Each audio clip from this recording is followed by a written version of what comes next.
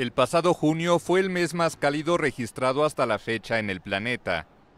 El Observatorio Europeo Copernicus anunció el jueves que la temperatura media planetaria se situó en 16,51 grados.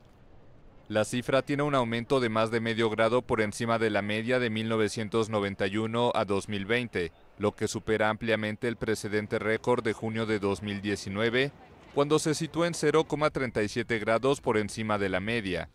Las temperaturas batieron récords en el noroeste de Europa, mientras que en ciertas partes de Canadá, Estados Unidos, México, Asia y el este de Australia fueron netamente más cálidas de lo normal.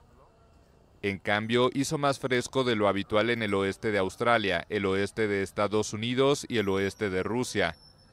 Copernicus atribuye estos datos al calentamiento de los océanos provocado por la combinación del cambio climático y el retorno del fenómeno meteorológico El Niño.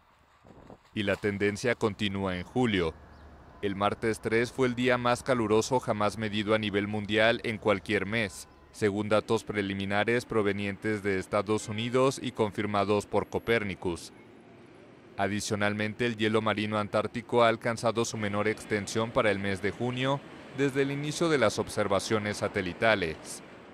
Aunque predecir el rumbo del verano boreal de 2023 es difícil, los récords de temperatura se encadenan en el mundo desde abril, lo que aviva los temores de grandes incendios forestales y sequías.